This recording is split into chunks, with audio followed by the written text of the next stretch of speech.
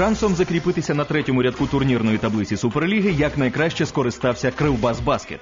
Візит до Дніпропетровська не віщував підопічним Звєздана Мітровича легкої прогулянки, але допомогли самі господарі.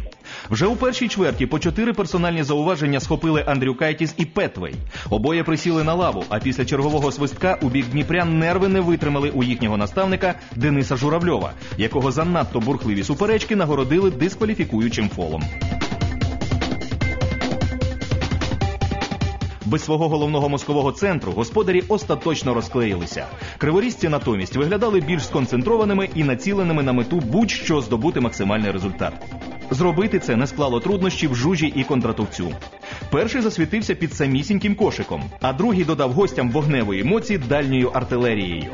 Такий обстріл кошика Дніпра завершився тотальним розгромом білосиньо-смугастих 72-57.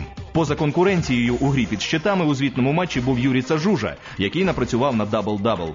Доробки решти виконавців виглядають значно скромніше. А найбільший подив 9 балів кроу, котрий поцілив лише двічі з 12 спроб.